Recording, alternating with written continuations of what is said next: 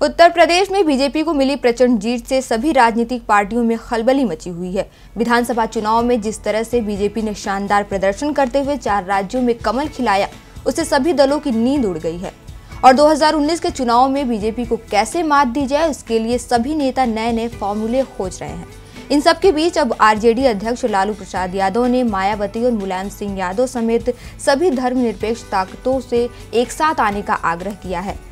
अपनी पार्टी के वरिष्ठ नेताओं के साथ बैठक के बाद लालू ने कहा कि बीजेपी को हराने के लिए मायावती और मुलायम सिंह यादव समेत सभी धर्मनिरपेक्ष पार्टियों को एक साथ आना चाहिए। अगर ऐसा होता है तो भाजपा की रणनीति धराशायी हो जाएगी।